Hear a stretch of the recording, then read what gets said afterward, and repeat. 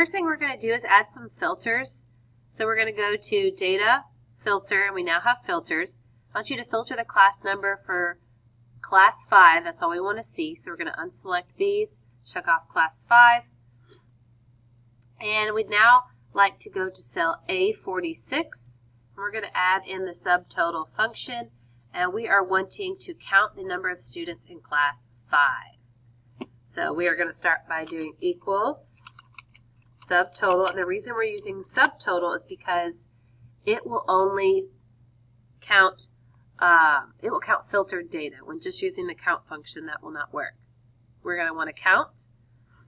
And for column 5, that's going to be A6 through A44. So I'm going to do a comma, A6, A44. And it tells me I have seven students in class 5. I was one cell off. I, I should have started at A5. So I went ahead and changed that in my formula bar. The formula bar is nice for that because the result shows up down here, but you can go to the formula bar and make changes later.